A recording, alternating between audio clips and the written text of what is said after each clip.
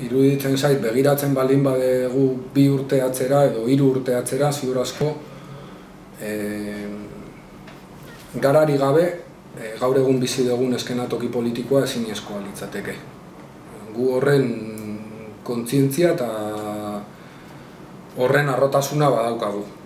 E, iruditzen zaigu guk ekarpen handia egin degula, e, alde batetik bere garaian eskera bertzalearen barruan ematen ari zen eztabaida horri eutxi beniolako, ikuspuntu argi bat planteatu genuelako horren inguruan, eta nola baitere gu defendatu genituen tesietako batzuk, editorialki eta kasetaritzatik defendatu genituen tesietako batzuk, e, aurrera atera direlako.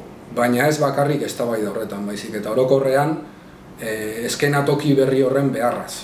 E, itzein degunean aldaketaren beharraz, itzein degunean e, gatazkaren irtenbidea e, lehentasun bezala markatzea, itzein degunean e, estrategia berriak behar zirela eta estrategia horrek ekarriko zutela eskenatoki berri horri, iruditzen zaigu jokatu degula herri ikuspuntu batekin.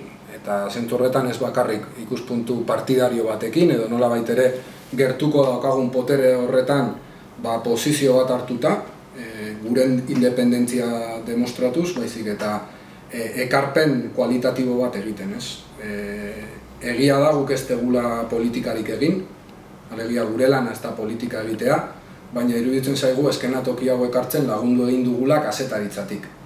Eta iruditzen zait hori hori esan nahi nuela horrekin.